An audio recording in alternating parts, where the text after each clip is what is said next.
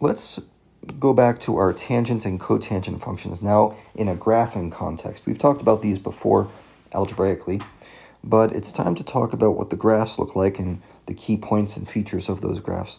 And you can see on this top uh, picture right here, I've drawn the tangent parent function, okay? That's with no transformations on it, no stretches or shifts or anything.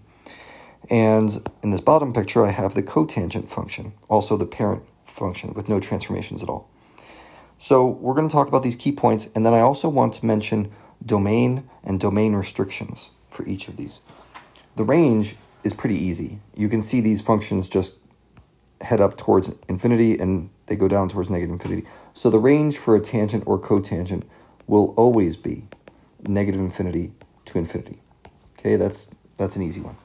The domain is not so easy because we just have to pay attention to a couple of restrictions. These asymptotes right here restrict our function. The function can exist everywhere except at those asymptotes. So all of these values between negative pi over 2 and pi over 2 are fine. And likewise between pi over 2 and the next one, which is uh, 3 pi over 2. But not pi over 2 itself, or negative pi over 2. And the reason for that should be pretty clear if you go back to our good old unit circle and we think about this. Remember what tangent is. Tangent is just equal to sine divided by cosine. And where do domain restrictions come from? Those are cases where we try to divide something by, by zero, right? We cannot divide by zero. So where is the cosine going to be equal to zero? Well, if you remember your, um, your unit circle, you remember that this is cosine equals 0, 90 degrees, or pi over 2. And likewise, down here, 3 pi over 2, or 270 degrees. Those are your domain restrictions for tangent, where the tangent function becomes undefined. Now, likewise, um, we have some domain restrictions on cotangent. Remember what cotangent is? It's the reciprocal of tangent. So that's cosine over sine. Now, where does sine equal 0? That's at 0 degrees and, uh, well, 0 radians and pi radians, which you can see is a different set of asymptotes on the cotangent curve. See, there's 0 radians, here's pi radians.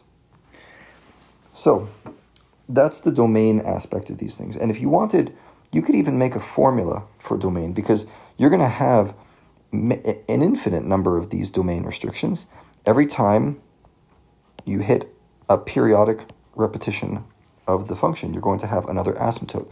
So we can express that idea in a formula. So let's think, what, what are these domain restrictions? Well, um, if I wanted to make a list, maybe this would be the easiest way to come up with our formula. My list of domain restrictions is going to be uh, pi over 2, 3 pi over 2, 5 pi over 2, and etc. Okay, on forever. And likewise, negative pi over 2, negative 3 pi over 2, etc. So to come up with a formula, what we really need is some way of saying pi over 2 times odd numbers.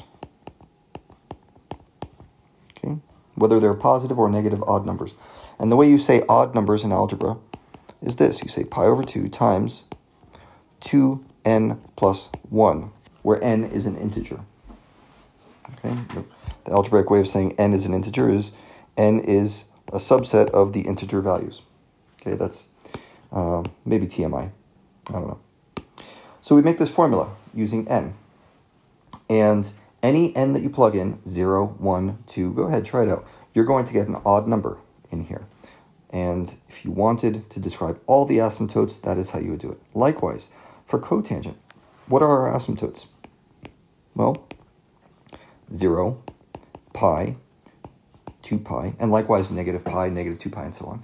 This one's an easier formula. For this one, all you have to do is say, well, it's just n times pi, where n is any integer value. Okay? So that's a formulaic way to approach the asymptotes and the domain restrictions. Now, in this particular problem, if you're looking at it in your homework, it wants to know uh, the key features and points. Well, look at what A is. A is this vertical asymptote right here. And the way you describe that is not with a coordinate, it's with an equation. x equals I'm looking at the graph and I see negative pi over 2. And likewise, if I look at point E over here, that's going to be x equals positive pi over 2. All right, so that's two parts of this. And then the rest we fill in as if they were our good old sine and cosine functions. We're looking for a coordinate point. That's the key point. So this one would be negative pi over 4, comma, negative 1.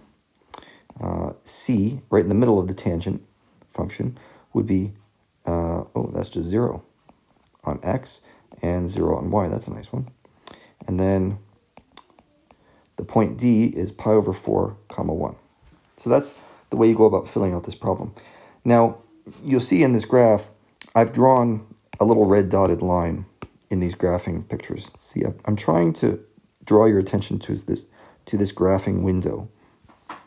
And that red box that I just outlined tells you just about everything you need to know about this tangent function. It tells us what the midline is, right? The midline cuts down the middle of the box right there. It tells you what the amplitude is, the height up and down of the box. Only in amplitude, it's not really good to talk about amplitude with tangent and cotangent functions, so we change that word to vertical scaling.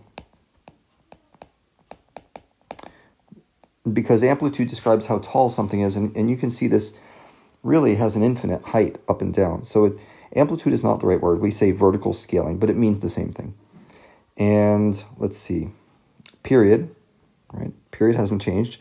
That is the width of this box. Okay, so a lot of these uh, features that we recognize from uh, sine and cosine functions are going to be similar for a tangent function. It's just that we have to get used to a new idea of finding the phase shift and um, these asymptotes. And we'll get into that in future videos.